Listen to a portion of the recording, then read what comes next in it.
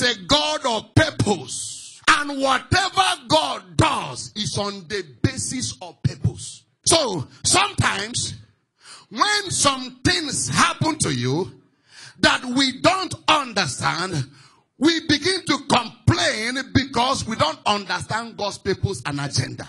But I realize that for a man who is in the hand of God, for a man who is a child of God, for a man who is on the path of purpose, for a man who heaven have vested interest in.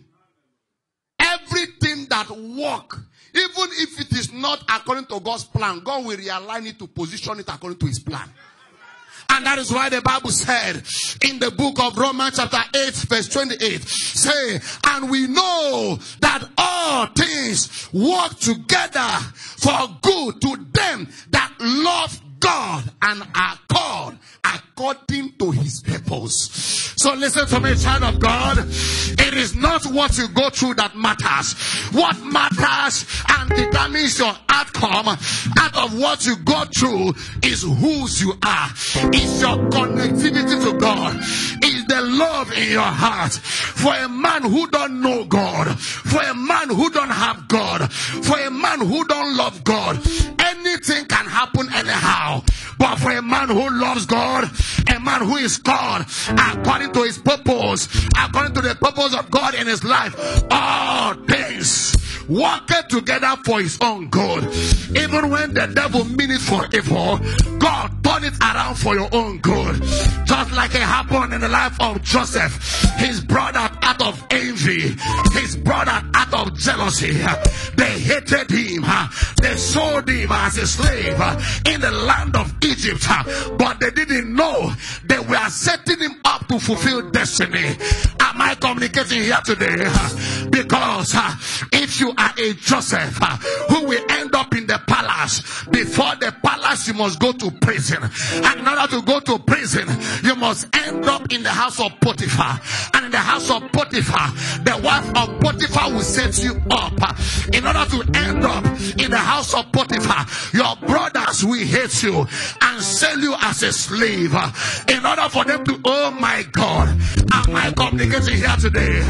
They sold him into prison, into slavery as a piece of material, but they didn't know they were vehicles of peoples. They were vehicles of fulfillment of If they didn't sell him, he would not have ended in Potiphar's house. If he didn't end in Potiphar's house, Potiphar's wife would not have seen him. If Potiphar's wife didn't see him, she will not have lied against him. If she didn't lie against him, he would not have ended in prison. If he didn't go to prison, he would not have been recommended. If he was not recommended, he would not have ended in the palace because the prophecy was about the palace. All things work together, even when it was meant for evil. God rearrange it. God rearrange it because we have a God who is a destiny rearranger. When the devil sets you up for evil, God knows how to rearrange your life and make it work out for your own good. Listen to me, child of God. Our God is a mathematician. He understands integration. He understands differentiation. He understands calculus.